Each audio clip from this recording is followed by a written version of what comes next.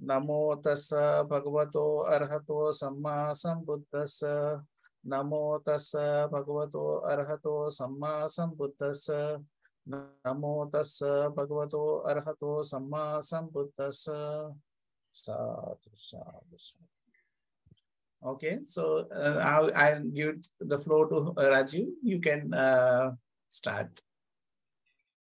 Thank you, Bante. Good day to everyone. I know we have people from many time zones. I'm based out of uh, India.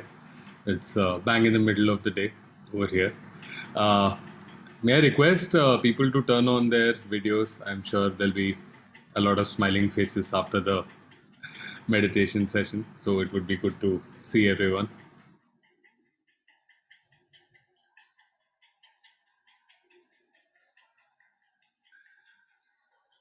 Okay, so uh, today I was thinking uh, we will discuss. Uh, uh, it's a very simple but uh, very powerful uh, sutta, one of my favorites, and uh, there is also an excerpt of this that is pasted at the DSMC main center at Missouri. So I don't know if any of you have visited, but uh, the sutta that I wanted to discuss today is uh, from the Majjhima Nikaya, uh, number 58. This is the Abhaya Sutta, the discourse to Prince Abhay on right speech. So I'll be using the translation by Thanisaro Bhikkhu. So before I begin, uh, I'll just give a very uh, brief background to this. So I find this sutta to be very connected with uh, something that uh, Bhante says a lot, and he's also written a book about it uh, called "Life is Meditation, Meditation is Life." Right. So it is not just about when we sit, what we experience, what we see during our meditation sittings, what kind of jhanas we see, what kind of attainments we have, uh, but this practice is actually developing our mind, helping us understand our experience of life better. And the best reflection of that is in our state of mind, right? How our state of mind, whether it is pleasant, unpleasant, wholesome, or unwholesome, through the course of our day, through the course of our lives, and how our actions play out. Are our actions skillful? Are they beneficial for ourselves and for others? And are they conducive for creating better states of mind in the future for us as well as for others? Right. So that is a very key part of this uh, entire practice. It is not just going and sitting and feeling good for a half hour, for one hour in a day or in a week, depending on what your frequency is, but it is to bring that skill, bring that mental development into our daily lives, into all our actions. And this sutta is uh, specifically on right speech, that is the focus of this sutta. But it also helps us uh, get a lot of insights on right mindfulness as well as right effort. Right. So let me start with the sutta. I'll uh, read it out, and in between, I will be making some comments uh, that may be relevant. Okay, so Abhay Sutta, uh, translation by Thanisaro Bhikkhu. I have heard that on one occasion, the Blessed One was staying near Rajagriha in the bamboo grove, the squirrel sanctuary. At that time, Prince Abhay went to Nigantanataputta. So Nigantanataputta is the name uh, given in these texts for Mahavir, uh, the founder of the Jain sect. And uh, yeah, so a lot of times the Buddha and Nigantanataputta are shown to have different points of view on you know, specific topics and uh, these debates or these contests are used as a way to kind of highlight the Buddha's point of view on many things. So Prince Abhay, one of the local royals, uh, he went to Nigantanataputta and on arrival, having bowed down to him, sat to one side. As he was sitting there, Nigantanataputta said to him, Come now, Prince. Refute the words of Gautama the contemplative, and this admirable report about you will spread afar. The words of Gautama the contemplative, so mighty, so powerful, were refuted by Prince Abhay.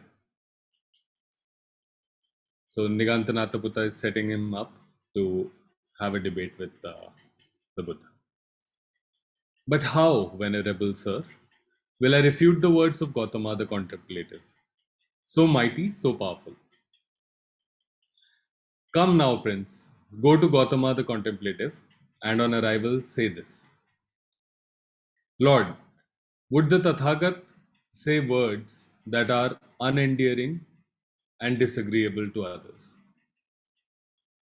If Gautama the contemplative, thus asked, answers, the Tathagat would say words that are unendearing and disagreeable to others.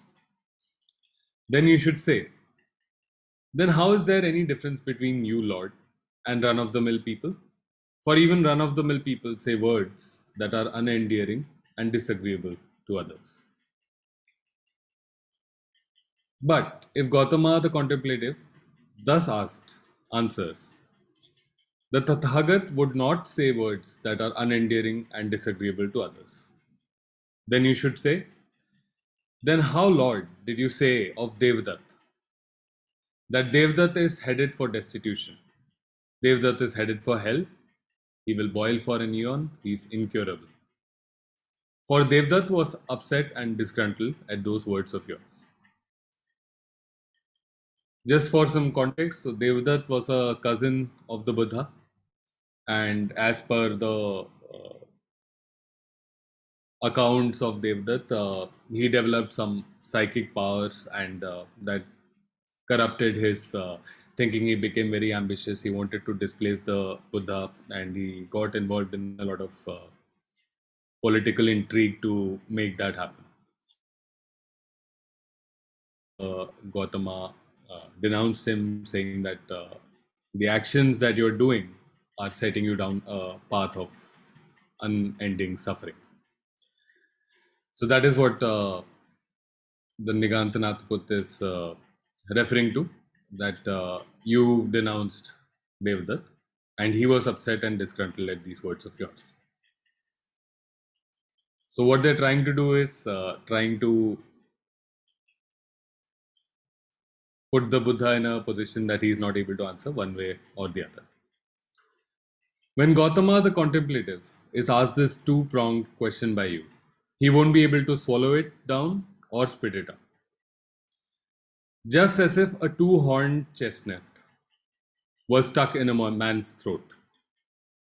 He would not be able to swallow it down or spit it out. In the same way, when Gautama the contemplative is asked this two pronged question by you, he won't be able to swallow it down or spit it out. Responding, as you say, Venerable Sir. Prince Abhay got up from his seat. He bowed down to Nigantanathaput, circumambulated him, and then went to the Blessed One. On arrival, he bowed down to the Blessed One and sat to one side. As he was sitting there, he glanced up at the sun and thought, Today is not the time to refute the Blessed One's words. Tomorrow, in my own home, I will overturn the Blessed One's words. So he said to the Blessed One, May the Blessed One, together with three others, acquiesce to my offer of tomorrow's meal. The Blessed One acquiesced with silence. Then Prince Abhay, understanding the Blessed One's acquiescence, got up from his seat, bowed to the Blessed One, circumambulated him, and left. Then, after the night had passed, the Blessed One early in the morning put on his robes and carrying his bowl and outer robe went to Prince Abhay's home. On arrival, he sat down on a seat made ready. Prince Abhay, with his own hand, served and satisfied the Blessed One with fine stable and non stable foods. Then, when the Blessed One had eaten and had removed his hand from his bowl, Prince Abhay took a lower seat and sat to one side. As he was sitting there, he said to the Blessed One, Lord, would the Tathagat say words that are unendearing and disagreeable to others? So the Buddha responds to this Prince, there is no categorical yes or no answer to that. Then, right here, Lord, the Nigantas are destroyed. So the Buddha obviously doesn't know the context of uh, the previous conversation. And he asks, But Prince, why do you say? Then, right here, Lord, the Nigantas are destroyed. Just yesterday, Lord, I went to Niganta Nathaput, and he said to me, Come now, Prince, go to Gautama the contemplative, and on arrival, say this Lord, would the Tathagat say words that are unendearing and disagreeable to others? Just as if a two horned chestnut was stuck in a man's throat, he would not be able to swallow it down or spit it out. In the same way, when Gautama the contemplative is asked this two pronged question by you, he won't be able to swallow it down or spit it out. So, right uh, from the way the Buddha answered this question, right? He says, Prince, there is no categorical yes or no answer. So, that is one of the first things that we can learn from this sutta. A lot of times we try to answer questions without understanding whether the questions are framed correctly or does their framing limit the answer to be say a yes or no answer or to be another type of answer so it is the buddha's wisdom that helps him to understand that this is not a question that can be answered categorically as a yes or no. So he goes on. At that time a baby boy was lying face up on the prince's lap. So the blessed one said to the prince what do you think, Prince? If this young boy, through your own negligence or that of the nurse, were to take a stick or a piece of gravel into its mouth, what would you do? I would take it out, Lord, if I couldn't get it out right away. Then, holding its head in my left hand and crooking a finger of my right, I would take it out even if it meant drawing blood. Why is that? Because I have compassion for the young boy. So the Prince Abhay says uh, if there was something stuck, a stone or a stick, in the child's mouth, he would take it out. And if he couldn't take it out easily, even if he has to do it with a bit of force that may result in drawing blood, he would do it. Why is that? Because he has compassion for the young boy, because he wants a good outcome for the young boy. In the same way, Prince, in the case of words that the Tathagat knows to be unfactual, untrue, unbeneficial, unendearing, and disagreeable to others he does not say. So the Buddha here is looking at any statement through multiple lenses. Says, is it factual? He's saying something correctly. Are we, is it true? Is it the truth or untruth? Is it beneficial? Is it going to lead to good outcomes, good consequences? Beneficial can also be said as connected to the spiritual goal. Is this going to help people move forward in their spiritual goals? Unendearing and disagreeable. These are the cases where he, after looking at words that he wishes to say that need to be said at some point, he puts them through these tests and does not say them. Do we end up saying these things? Unfactual, untrue, unbeneficial, unendearing, disagreeable. When do we end up saying these things? And why do we end up saying, saying these things? This is an interesting thing that we look at. What makes us say unfactual, untrue, unbeneficial, unendearing, and disagreeable things?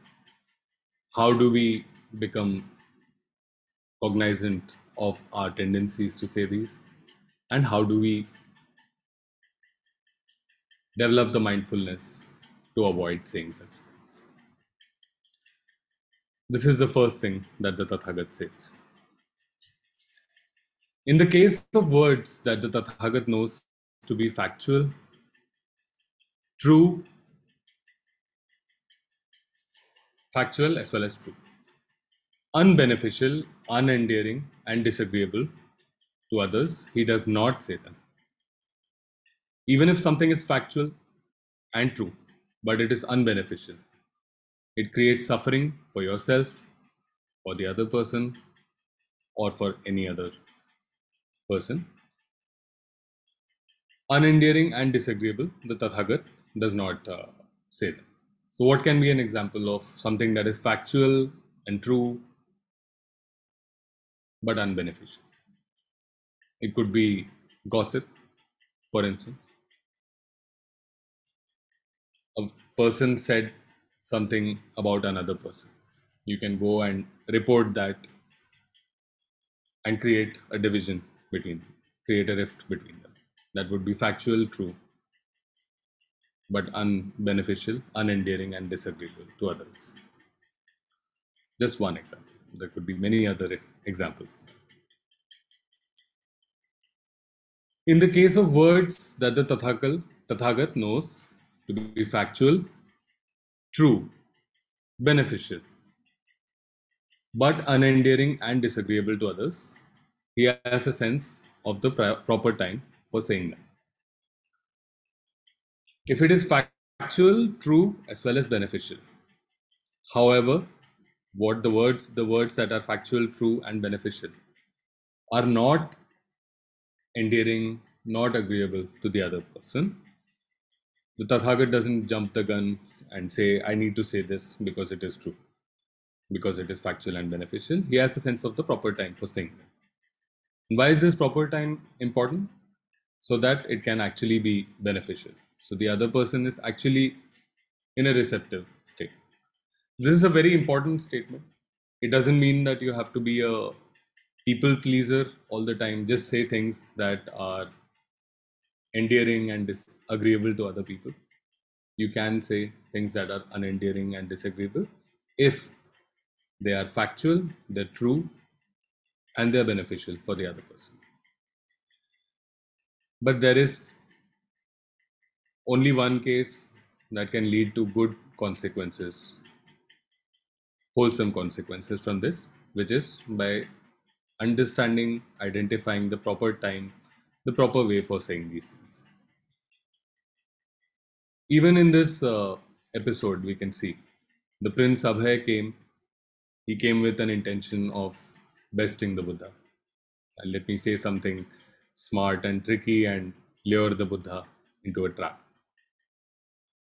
Although he came from that uh, perspective, the Tathagat didn't want to prove him wrong. In fact, he allowed the prince to use the example of the young boy to say, give an answer about how he would treat the young boy because he has compassion, even though it is not a simple yes or no answer. Once he has allowed the prince to say this thing, he uses the same analogy to say how things how words can be said, even if they are unendearing and disagreeable, as long as they are factual, true, and beneficial. So the Buddha identified the proper time, the proper context where he could say this, and it would actually register with the prince. It would help him understand, it would help him with his understanding of the Dhamma, it would help him with advancing on the spiritual path without simply feeling that he has been defeated in his mission. So, this is the third case. The fourth case, in the case of words that the Tathagat knows to be unfactual, untrue, unbeneficial, but endearing and agreeable to others. He does not say them.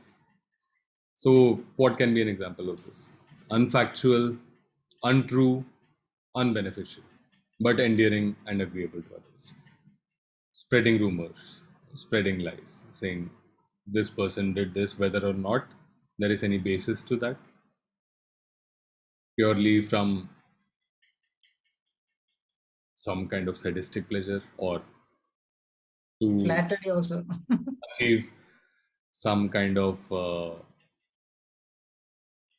short term outcome, flattering someone so that, uh, as you mentioned, flattering someone to get their favor, for instance.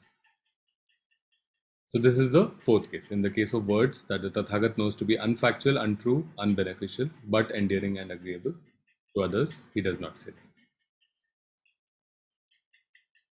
The fifth case. In the case of words that the Tathagat knows to be factual, true, unbeneficial, but endearing and agreeable to others, he does not say.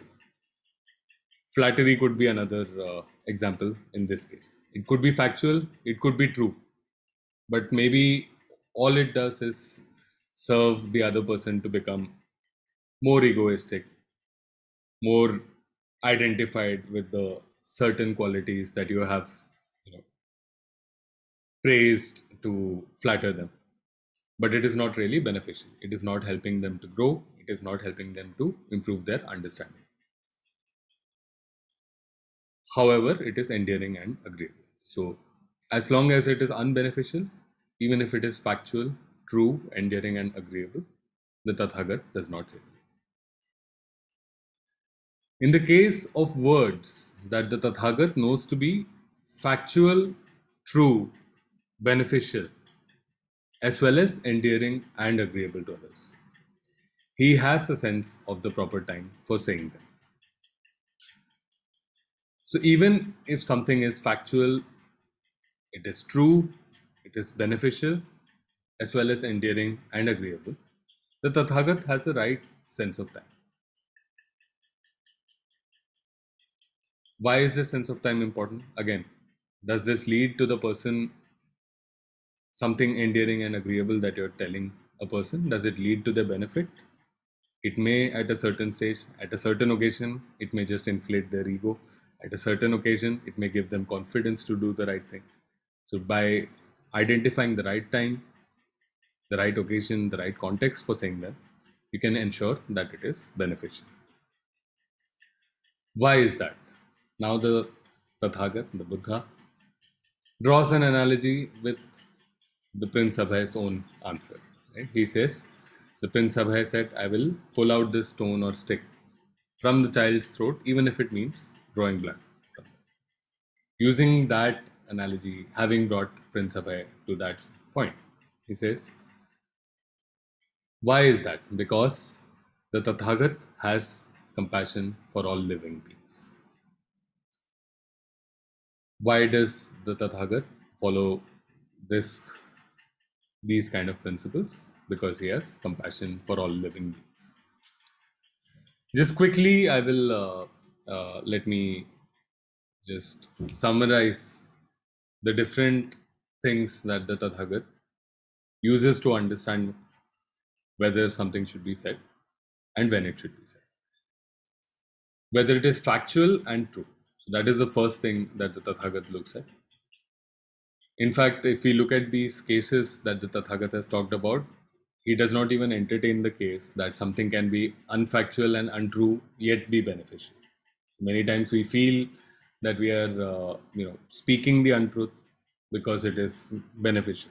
That is just our, uh, we are conveniently deceiving ourselves when we say that. So, unfactual and untrue is not acceptable. Unbeneficial is also not acceptable. Don't say anything that may create suffering for yourself, that may create suffering for the other person. Don't say things that are meaningless or trivial, not really helping the other person towards good outcomes in their lives. Right? So, that is the other lens that uh, the Buddha uses. And finally, about endearing and agreeable.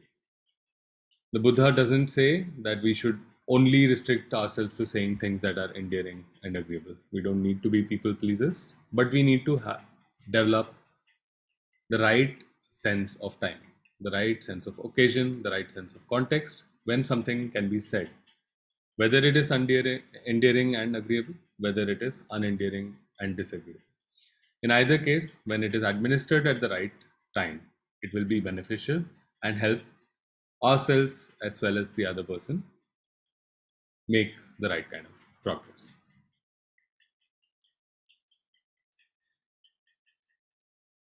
So when the Buddha says this, Prince Abhay says, Lord, when wise nobles or Brahmins, householders or contemplatives, having formulated questions, come to the Tathagat and ask him, Does this line of reasoning appear to his awareness beforehand? That if those who approach me ask this, I, thus asked, will answer in this way. Or does the Tathagat comes up, come up with the answer on the spot? So Prince Abhay says, uh, are you have you already prepared a list of frequently asked questions that you have the answers for and you have anticipated people are going to ask certain questions and you just give the answer because you're already prepared is that the case or is it that you come up with the answer the answer occurs to you appears to you on the spot in that case prince says the Tathagat. I will ask you a counter question. Answer as you see fit. What do you think? Are you skilled in the parts of a chariot? Yes, Lord, I am skilled in the parts of a chariot. And what do you think? When people come and ask you, what is the name of this part of the chariot? Does this line of reasoning appear to your awareness beforehand? If those who approach me ask this, I, thus asked, will answer in this way? Or do you come up with the answer on the spot? So the Buddha responds with a counter question. Lord, I am renowned for being skilled in the parts of a chariot. All the parts of a chariot are well known to me. I come up with the answer on the spot. In the same way, Prince, when wise nobles or Brahmins, householders or contemplatives, having formulated questions, come to the Tathagat and ask him. He comes up with the answer on the spot. Why is that? Because the property of the Dhamma is thoroughly comprehended by the Tathagat. From his thorough penetration of the property of the Dhamma, he comes up with the answer on the spot. So the Buddha says, I do not need to memorize a list of frequently asked questions. It is because of my thorough comprehension, thorough understanding of the Dhamma, of the way phenomena occur in our minds. How do how does conscious experience occur? How do mental phenomena occur? How do we experience things Because of the comprehensive understanding of this, the answer appears on the spot. When this was said, Prince Abhay said to the Blessed One, Magnificent, Lord, magnificent. Just as if he were to place upright what was overturned, to reveal what was hidden, to show the way to one who was lost, or to carry a lamp into the dark, so that those with eyes could see forms. In the same way has the Blessed One, through many lines of reasoning, made the Dhamma clear. I go to the Blessed One for refuge, to the Dhamma and to the Sangha of the monks. May the Blessed One remember me as a lay follower who has gone to him for refuge from this day forward for life. So that is the end of the sutta. I would just like to make a few comments before we uh, do the Q and A yeah we should ask uh, questions and uh, if it is not related to this you can ask question about uh, meditation uh, or uh, TWIM topics.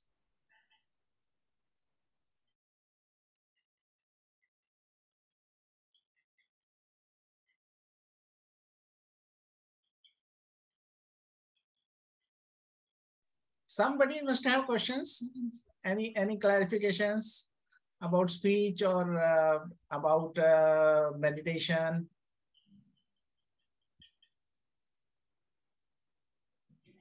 Because we get always a new perspective by asking questions, you know. Uh, from a new perspective, we'll get an answer. So I would request uh, uh, people to ask uh, questions.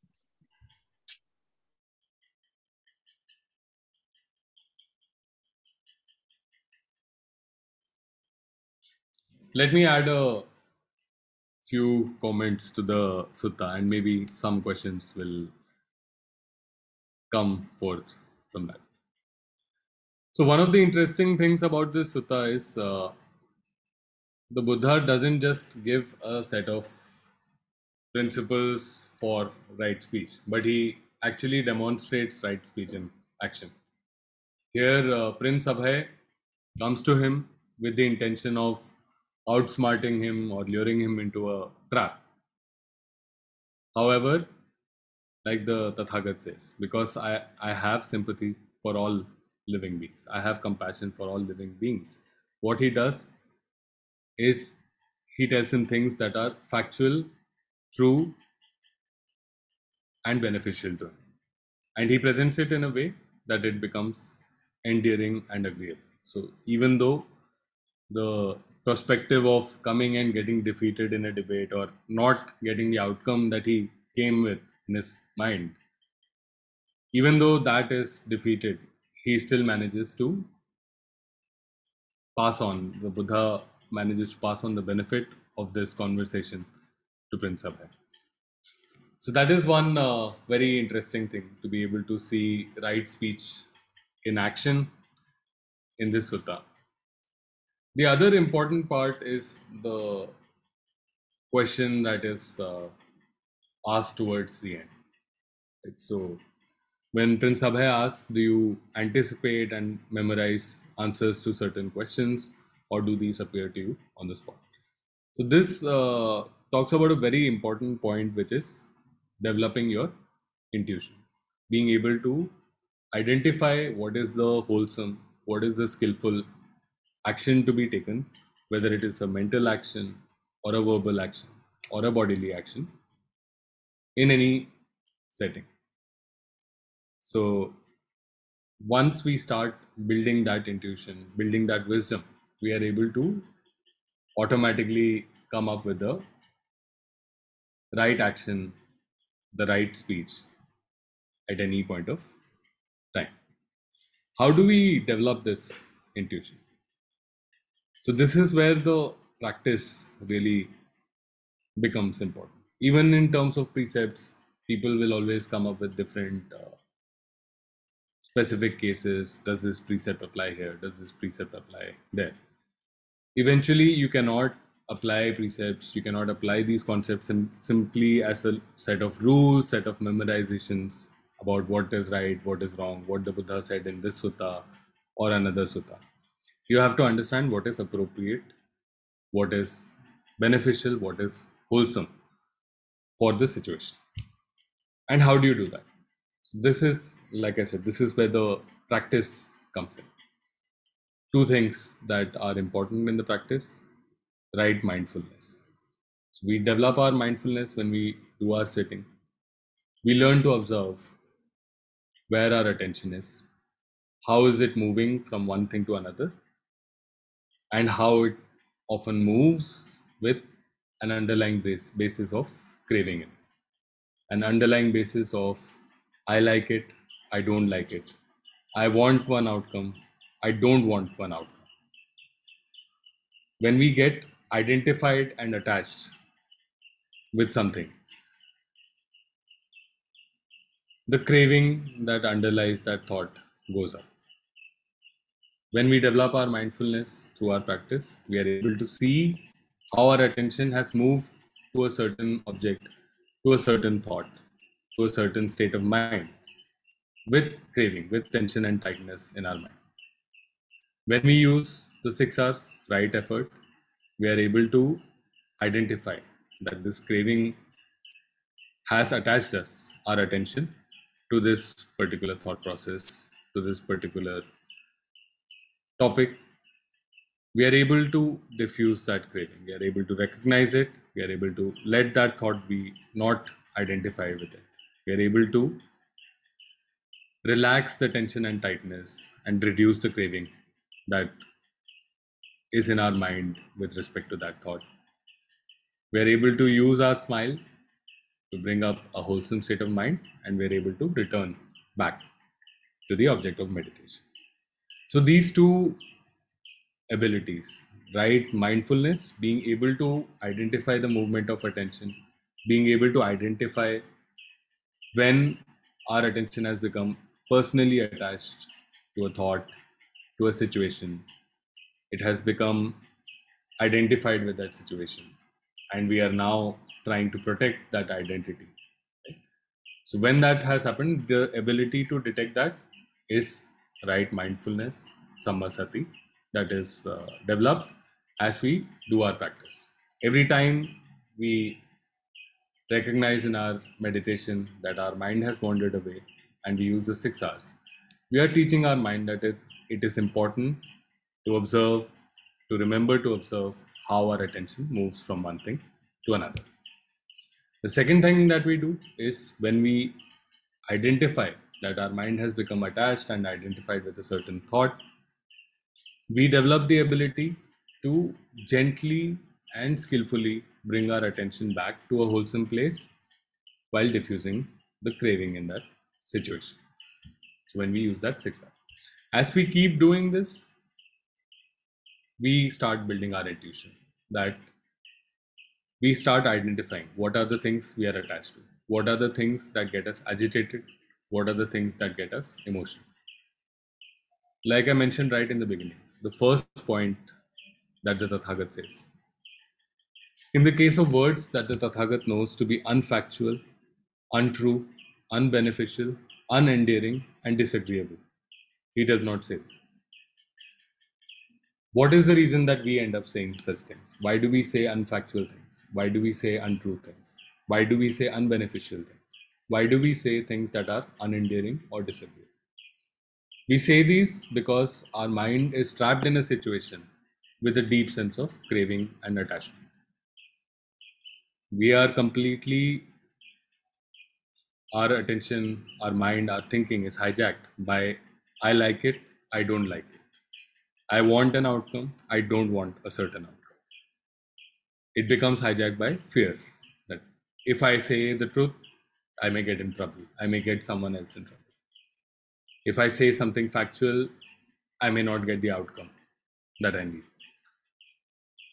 So, that fear, it can be fear, it can be greed to get an outcome, it can be hatred for a certain outcome, it can be delusion. You just simply become occupied in the defense of yourself right so those things are all happening on the basis of craving that has gone undetected that has kept growing as our attention is on an object with craving with personalization with identification with attachment that keeps on growing and makes us feel that there is no option but to say unfactual untrue unbeneficial unendearing and disagreeable things. So, as we learn to identify this, as we sharpen our mindfulness, and just identifying it is not enough, we need to be able to skillfully and gently bring our attention back without craving to a wholesome state. So, as we do that, we teach our mind that there is a different way to respond to that situation. We don't necessarily have to react in a very personally identified reactive, habitual way to a situation. But there is a way to look at that situation, put a little bit of distance between you and that situation, see what is factual, what is true, and what is beneficial. See what is the right time to say something, or whether it is the right time to just keep mum, to be able to identify that. So that is how we develop the skills that are required for right speech, which is right mindfulness and right effort. And that is how we develop our wisdom and intuition. Just like Prince Abhay understands the chariot and the Buddha understands the Dhamma. you will not be able to look at a remember the right rule that applies to a situation through your daily life but by teaching our mind to respond to situations without craving without attachment without identification without greed without hatred without fear without delusion as we teach our mind again and again it starts learning it starts learning and building this new habit. It starts also building its own wisdom by seeing how wholesome actions taken by us without craving lead to good good consequences for ourselves and for others and unwholesome actions that we take lead to unhappy outcomes for ourselves as well as for others. Just wanted to add that comment for this beautiful sutta Excuse me, Rajiv. At the very beginning of that comment, thank you. That was really, really, really interesting. the very beginning of that comment, you made a, you made mention of something about how in meditation, observing how the mind has moved onto another object. My question is, is that not the same as when the mind has moved? What's the difference between how, observing how the mind has moved, and then observing when the mind has moved? Because they seem to me to be almost the same thing. It's a very uh, interesting question. So, there are two things that you will learn. So, in my mind, when I say how, it also subsumes the when. So, how things are happening subsumes the when. But why is how the right way to think about it? Because when your mind is on one object, right? So, if you look at your experience of life, you could be sitting here right now, you could not be paying attention to the screen, you could be distracted by something else that's happening around you. That would be your experience of life many times many of us would have experienced it in our classrooms 10 students sitting in the same space absorbing very different things about life going through very different experiences of life right so what happens is uh, our entire experience of life is our attention being on one object okay and there is an awareness of other things that are happening right so if you're sitting and uh, a lion comes running from right in front of you, your attention will go there. It won't get stuck. So there is a peripheral attention of what's happening. And whenever something is deemed to be important, either it gives me a good outcome, it uh, gives me something positive, or it is something that I need that I'm fearful about, something that may, for example, threaten my survival. So your attention moves from this to another thing. Right? So if you're going in Disneyland or some amusement park, right? So your mind is scanning what is the most interesting thing I can do next. Right? It is uh, looking for different things. So attention moves from one thing to another. Now what happens is this attention doesn't isn't suddenly on object A and then it doesn't suddenly go to object B. There is a process where the attention it's on object A and it starts to wobble. It is getting signals that there is something else which is either very attractive or very repulsive or fearsome in the environment right so your mind starts to first see that signal it starts wobbling and as it starts if it thinks that that thing is more important than what my mind is on right now. So you are looking at the screen right now a lion comes running in front of you. You know your mind says hey this is more important. As it starts going towards the other object what happens is in this uh, during this journey where it starts wobbling says that hey this is maybe not the most important thing in my life in my surroundings right now and this is. While making that movement what it is also doing is it is generating it is predicting the world around you. It is generating an entire understanding of the universe right? So you are moving from one place and you're while you're trying to interpret the other thing right? So if it was a actually a lion stuffed toy at some point you will realize that this is not really dangerous to me. But if it is an actual lion you will realize that it is dangerous so you are constructing your mind is constructing and predicting what the world is and what that outcome means for you right so when i say how as you go deeper into the meditation as your mind becomes very still goes deep it starts seeing the different steps that are taken from going from one object to another. And that kind of the journey that you take from point A to point B is the same journey, same kind of journey that you'll take from point B to point C to point D and so on. And that will be the experience of your life, right? So you want to see what happened not only when an attention was attached to object A, you want to also see how it went from object A to object B and how it stayed there. So by that, you are kind of mapping the entire journey of your conscious experience, of your experience of life.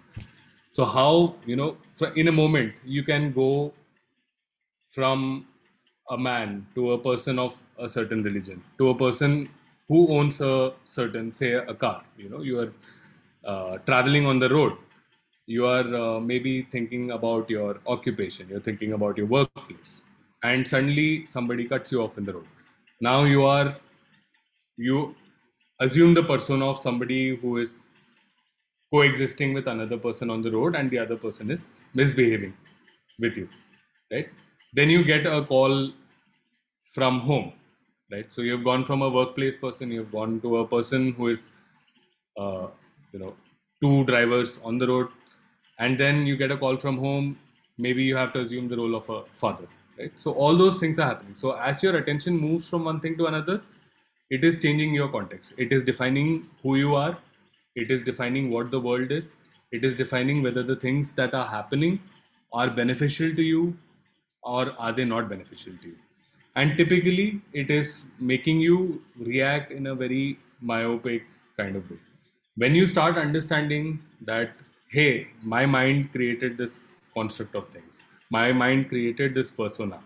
I can choose to act in a wholesome way. I don't need to react in a habitual way.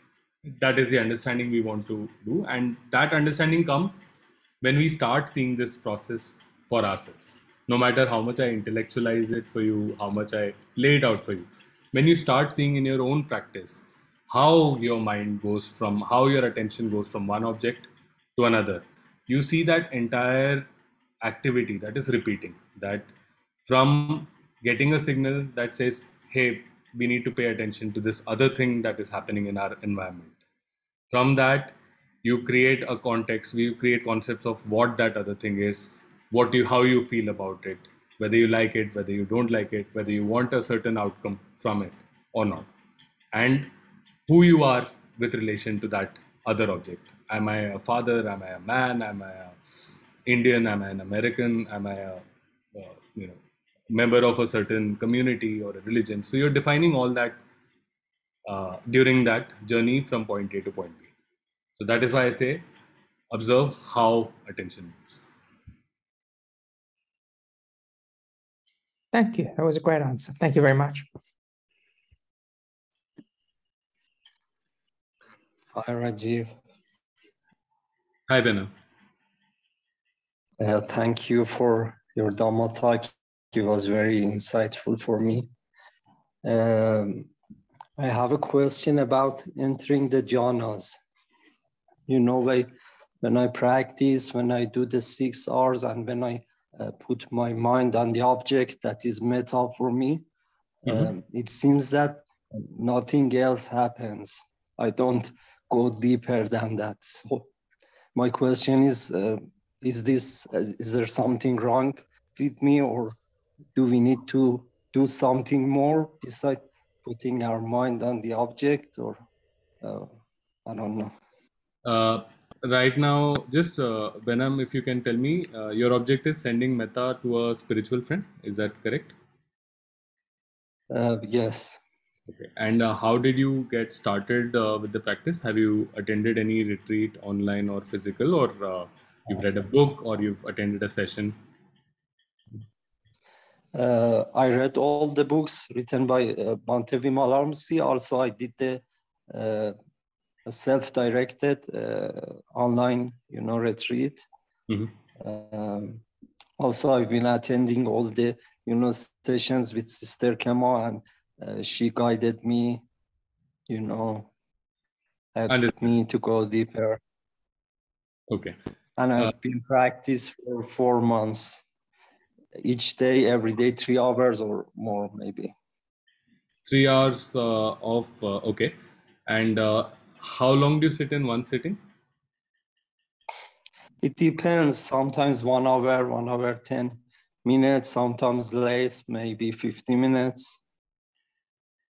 Okay, I will need to ask you a bunch of other questions to understand your practice. Uh, if you want, uh, maybe at the end of the session, we can uh, uh, connect because this will be very specific to how you are using the technique and if we need to fine tune that. What I would recommend, the other thing you should look at is to uh, do an online retreat, right? So for eight or nine days, you would have a guide, me or uh, one of the other guides at uh, we would be able to ask you those questions and fine tune your practice for a period of nine days. I think that will be very beneficial for you. So there are uh, there may be some application of technique that needs to be refined. Right? So we can either connect after this uh, call. I will share my details over here, and uh, we can either discuss uh, separately. But I would also recommend uh, you know go through that nine day retreat it is a good structured format you will get daily uh, you know daily inputs into your technique and that will be very beneficial Okay, if you have free time, I will be glad to connect with you after the session. sure i will Thank uh, you very much. my phone number you can maybe drop me a whatsapp message and i'll be happy to talk to you Okay, thank you very much. If you have your personal Zoom, you can give your Zoom uh, to him uh, and you- you can have a Zoom meeting if you Yeah. have a, uh, yeah. Or you can take this Zoom also. We can uh, exit and you can uh, kind of talk, whatever is convenient. yeah, yeah i think we can Okay. uh, connect on whatsapp might be Okay. easier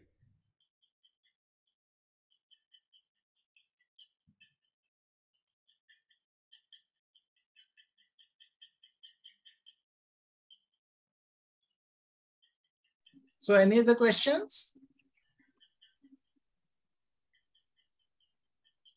Sarah, you have anything?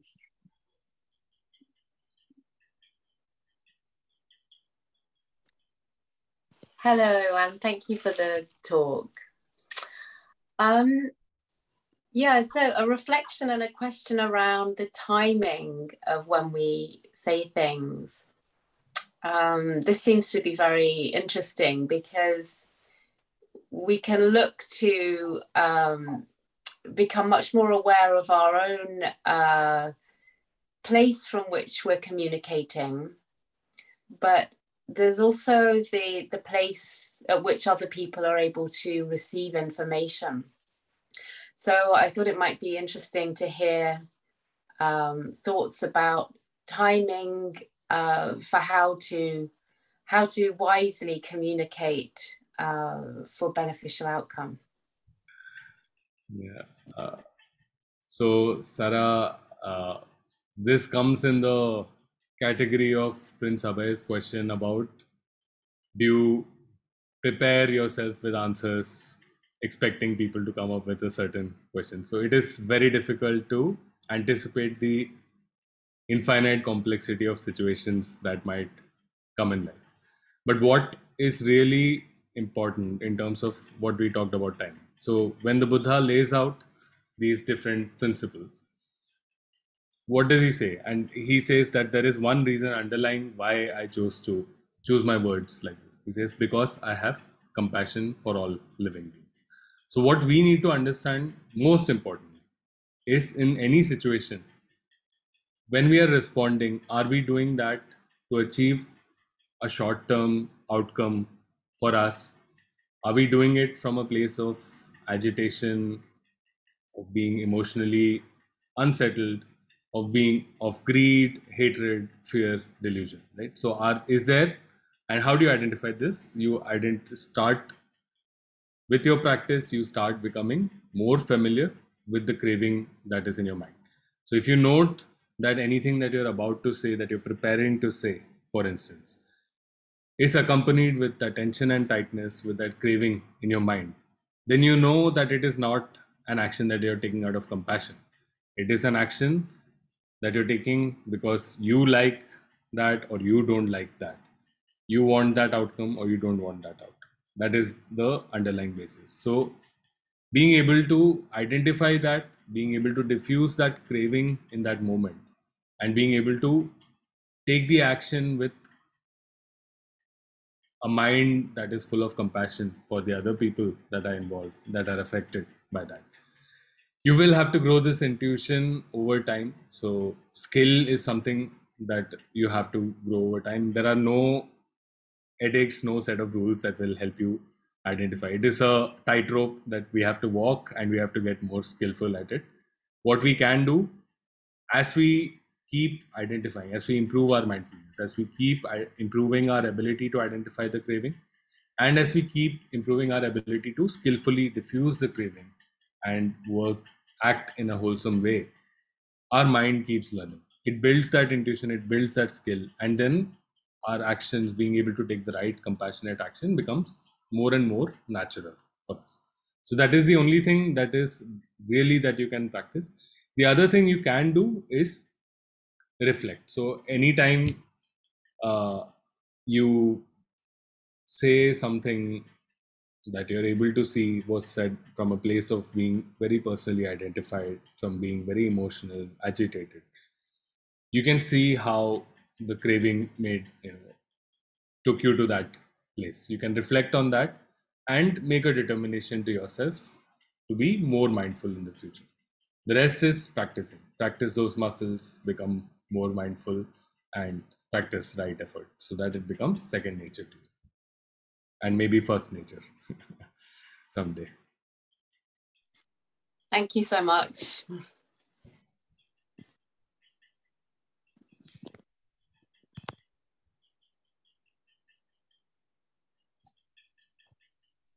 Any more questions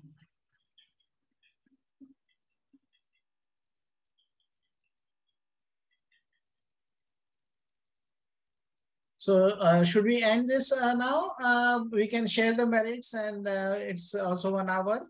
That is our kind of uh, target time. So or uh, we can continue if you have anybody has any questions.